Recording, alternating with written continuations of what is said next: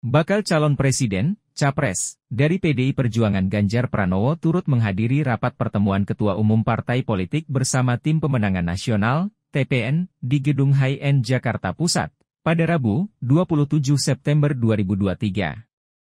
Siang. Berdasarkan pantauan tribunnews.com, Ganjar terlihat tiba di lobi gedung High End sekitar pukul 14.20 waktu Indonesia Barat. Dia pun turun dari mobil berwarna hitam dengan mengenakan kemeja lengan panjang bermotif kotak-kotak berwarna merah putih. Saat tiba, mantan gubernur Jawa Tengah itu pun langsung menebar senyum sambil menyapa awak media. Ganjar pun bergegas masuk gedung high-end dan menuju lantai 5 untuk mengikuti pertemuan dengan para ketua umum parpol pendukung dan tim pemenangan nasional, TPN.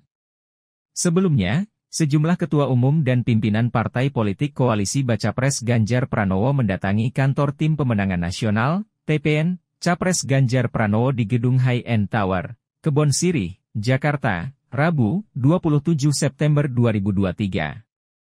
Pantauan di lokasi, Megawati tiba di lokasi sekira pukul 14 waktu Indonesia Barat Megawati disambut Ketua Umum Perindo Haritano Eso Edibio dan Sekjen PDIP Hasto Kristianto. Mendampingi Megawati, Ketua DPP PDIP Prananda Prabowo dan Bendum PDIP Oli Dondo Kambe. Tak berselang lama, tiba PLT Ketua Umum PPP Mardiono dan jajaran PPP, di antaranya Sekjen PPP Arwani Tomafi, dan Jubir PPP Usman Tokan. Bersama jajaran PPP, rombongan Partaj Hanura juga sudah tiba di lokasi. Ketua Umum Partai Hanura Usman Sabta Odang, Sekjen Hanura Kodrat Sah, Waketum Hanura Benir Hamdani. Tampak juga berada di lokasi, Ketua TPN Ganjar Pranowo Arsyad Rashid. Namun, Wakil Ketua TPN Andika Perkasa tampak tidak berada di lokasi.